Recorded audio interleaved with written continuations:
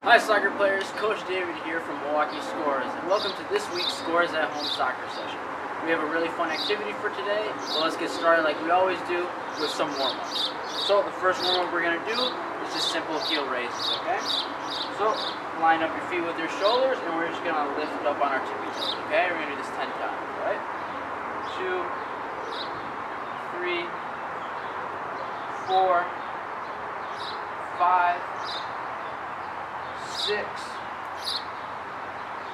seven, try and hold it for as long as you can. Eight, nine,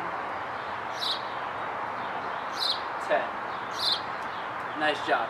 So our next one we're going to jump into is called high knees, alright? We've actually done this one before. So we're just going to lift both our knees up to our hands and we're going to do this for 10 seconds, okay? Alright, here we go.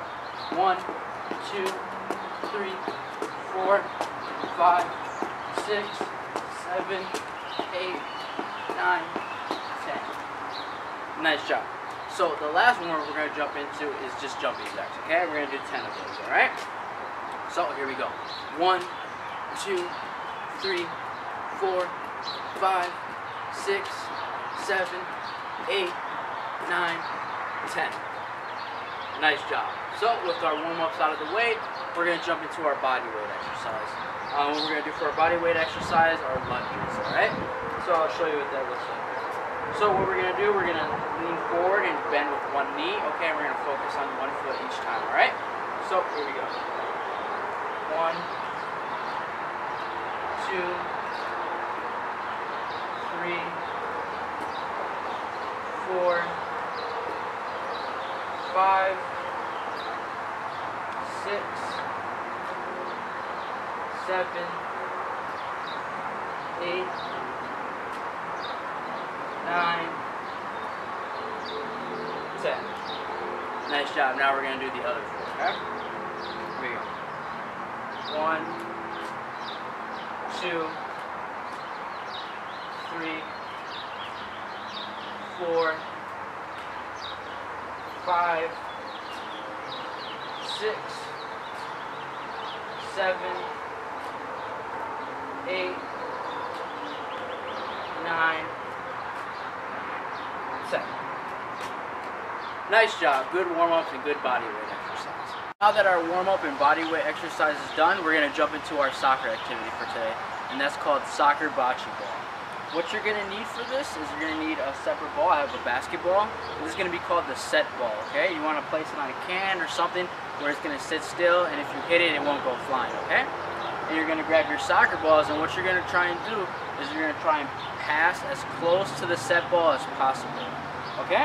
Um, you can do this by yourselves with multiple soccer balls, or you can get a, a partner, um, and you can try and see who can get closest to the set ball, okay? So I'll show you that looks like. So remember when we pass with the soccer ball, we use the inside of our foot and we have our whole body facing to where we want to pass, okay? So I'm going to start off. That's really close. I wasn't able to knock the ball off either. Try again. That one a little more off.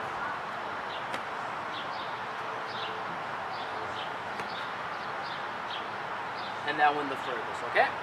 So this is going to really help on your accuracy, accuracy and focus on where you want to pass. The thing is, you can also use this game uh, to practice your throw-ins, okay? So I'll grab two. After a few rounds of playing with just passing the ball with your foot, you can actually try switching to practice your throw-ins, okay? So remember, we use two hands and put them over our head, and you do the exact same thing. You want to try and get as close to the set ball as possible, okay? So I'm to try. Now remember, soccer balls are going to roll, and you want to pass to where your teammates' feet are going to be, okay? So, light pass, bounce a few times, pretty close. Try one more time, hands over your head, a little further off, right? So, using a teammate or by yourself, try and see how close you can get to the set ball, okay? So is going to work on a lot of things, and you can switch it up to make things a little bit harder. You can move back or move where the set ball is, okay? But with that said, that's our warm-up for today. I hope you were able to have some fun and really focus on uh, improving on your passing and your throw-ins. Can't wait to see you in the next video. Bye.